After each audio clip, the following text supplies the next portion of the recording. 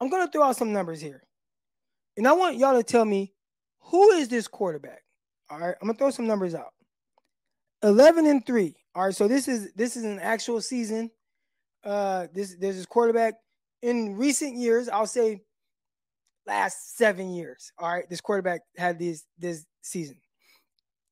He went 11 and three as a starter. Clearly, he didn't start the season as a starter, but he started uh 14 games. All right, played in 15 games, started 14 games in a 16 game season. All right, went 11 and three in those games. Com- completed 67.6 of his uh passes. So that was his completion percentage, 67.6. Threw, threw for 3,500 yards, 35 47 in those games. Not, I mean, you know, again, he didn't start the full season. I assume if you kind of put that over a full season, that's over 4,000 yards. Here we go 22 touchdowns, seven picks. All right. So I'm to say it again. This guy went 11 and 3 as a starter, completed 67.6% of his passes, threw for 3,500 yards. And again, this is in 14 starts, and 22 touchdowns, seven picks. Who is that quarterback? It is not. It is not Nick Mullens.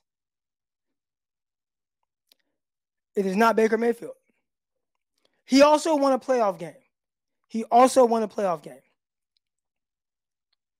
All right. So it's going to be hard for y'all to guess who this is. Now, it's not Herbert.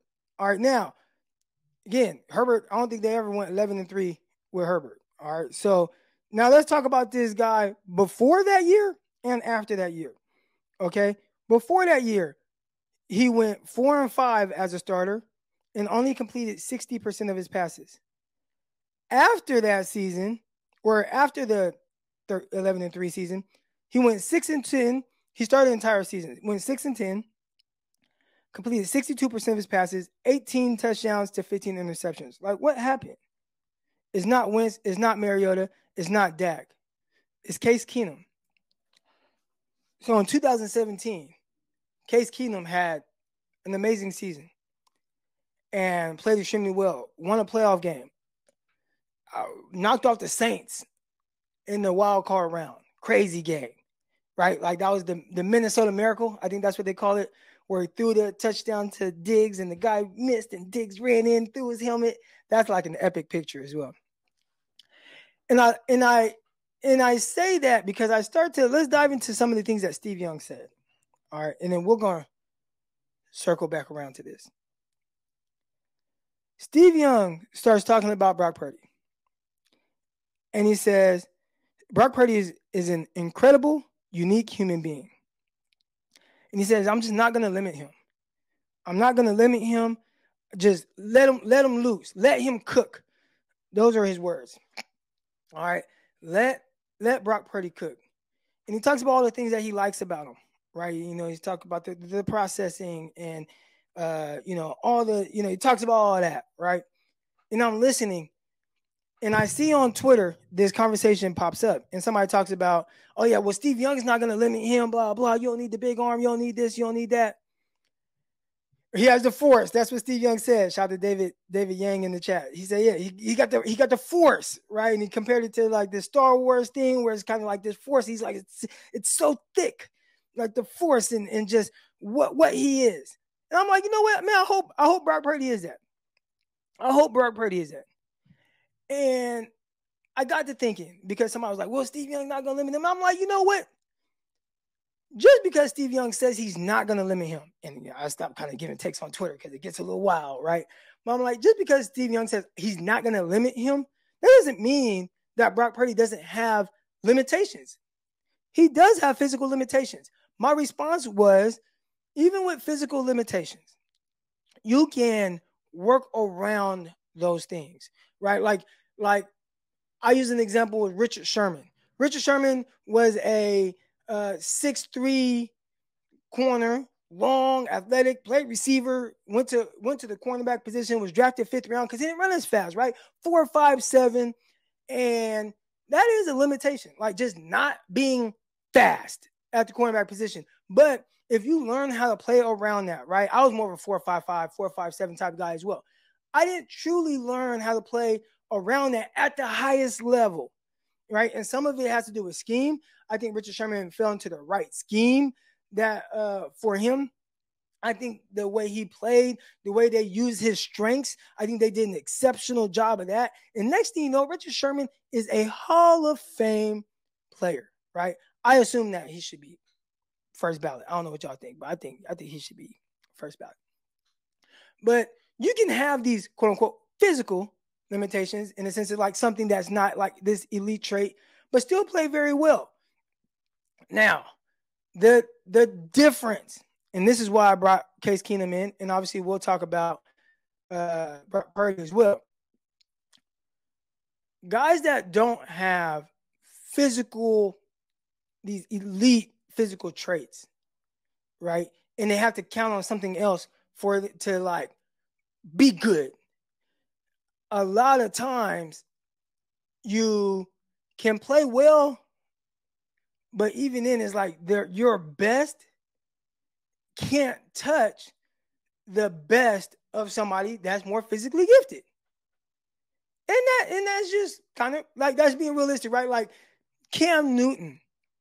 Dude, Cam Newton, Cam Newton, was he a complete a career 58% completion percentage guy, right? Like not the most accurate. I don't think anybody in here would be like, man, Cam Newton was hella accurate. No, he wasn't.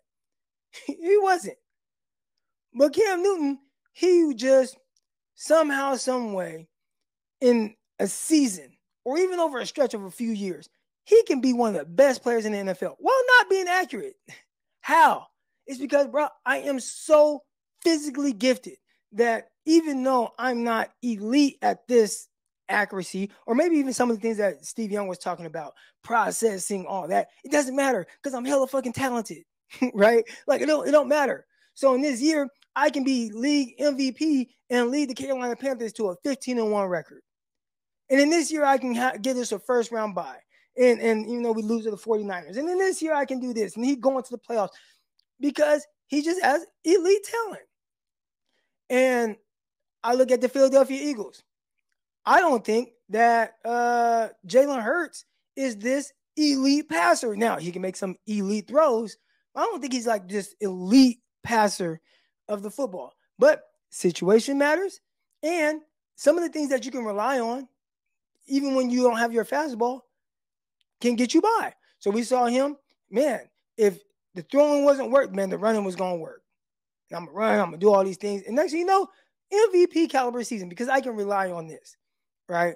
So when I look at Brock Purdy and just watching him, right? And somebody was like, Crock, what do you think? Why do you think he was like a 73 overall? Why do you think Brock Purdy is a 73 overall on Madden? That's disrespectful. Blah, blah, blah. And I'm like, well, it's tough because he doesn't have elite physical traits. Now, what does he do have? He might be an elite processor, right? Uh, you know, being able to throw with timing and rhythm and be consistently accurate, right? He can do all those things. And if he can continue to do those things, he can be really good. I always look at, you know, when we start t- trying to crown a guy as a franchise quarterback, you know, when he doesn't have his fastball, what can he turn to? What does it look like, right? Like, can he create the explosive plays? And maybe he can. I think those are things I want to continue to see him do this year. But listening to Steve Young, and Steve Young's a hell of a lot smarter than me. Like on the football field, off the football field, he's like this super mega mind type guy. So he knows what he's talking about. When he sees something, I believe him. But I don't watch enough football to where I'm like, you know what, Steve, you're all in. I I might I, I I'm I'm inching towards that, but I'm not gonna be as all in as you because I've seen where these guys like Case Keenum and some of the other guys have these good years. You know, and it's just like, okay, that was a really good year. Saw it. can't do it again? It's like, damn, Case Keenum just couldn't do it again. He just couldn't do it. Now, maybe it could be situation. Maybe that Minnesota Vikings game was tailored to the, you know, like uh uh tailored to to where Keenum could be the best version of him. And then once he left the Vikings and went to Denver and then went to all these, and he's like, and he was not very good. And he's like, oh yeah, he is a backup, you know. Uh, maybe that's what it was. But for whatever, in this system right now, I think Brock Purdy plays extremely well and he does a really good job. And I see Axel say, hey, didn't Peacock say he has elite short area speed? I think he has very good short area quickness. I think he has very good short area quickness. And I think that helps. I think that definitely helps uh, as far as the playmaking a- aspect of it. If he didn't have it, we would probably look at him a lot like Nick Mullens. But he does have it. So he's not Nick Mullens. He's better than Nick Mullens. All right.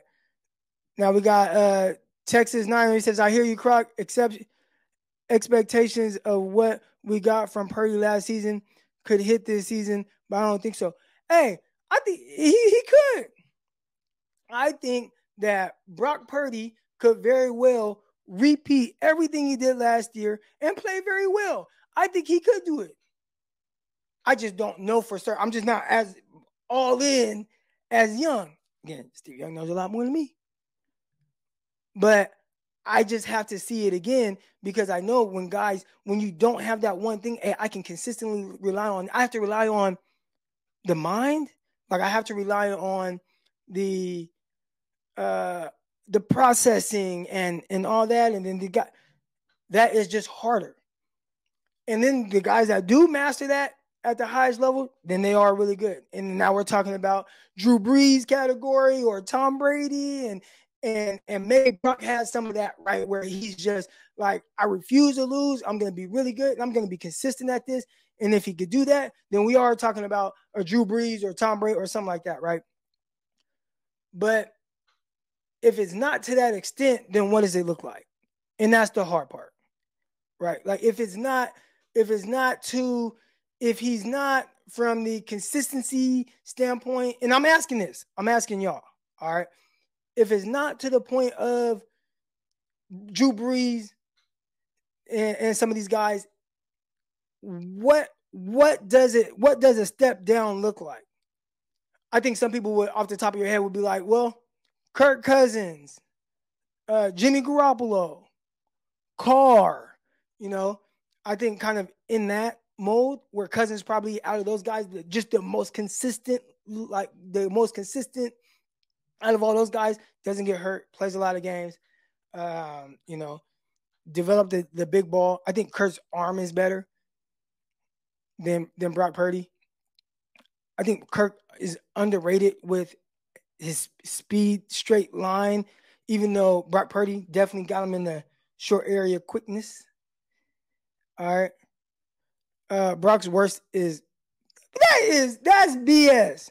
Cause you weren't saying that when Brock Purdy was, I mean, uh, when Nick Mullens was throwing for against goddamn New York Jets and New York Giants, 300 and something yards and multiple touchdowns. And Mullens, the disrespect towards Mullens, he was on the terrible, like the team wasn't set up the same.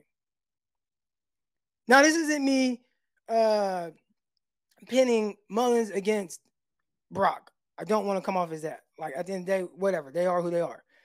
But I feel like Mullens, when we start talking about like kind of his situation, I think Mullens is probably a lot closer to Brock than people want to admit. The biggest difference to me is Brock got a little bit more playmaking ability in him. Like he's like, hey, let, let me uh, start moving around and make some plays. Where eh, Mullens not really gonna give you that. You know what I'm saying? He ain't gonna give you that. I think that was a difference, and that's a big difference. That's a big difference. But Mullens, in the sense of like, if you were to say, man, why is Nick Mullens good? What makes Nick Mullens an NFL quarterback, right? I would I would say that a lot of the things that you would list off would be pretty much identical to Brock Purdy, except for that one thing, which is short area quickness, which makes Brock more of a playmaker.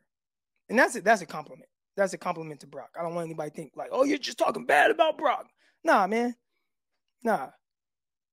But as far as like just them playing the quarterback positions and a lot of things that you're going to point to first as to why, uh, you know, Nick Mullens or Brock, like who's better, whatever, like it's very similar. it's very similar.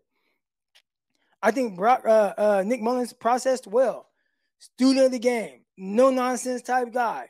Think he was pretty accurate. Didn't have the biggest arm, right? Like a lot of it's the same stuff. That's what led him to throw for the third most yards over the first 16 starts in NFL history. Mullen's not a bum from that standpoint.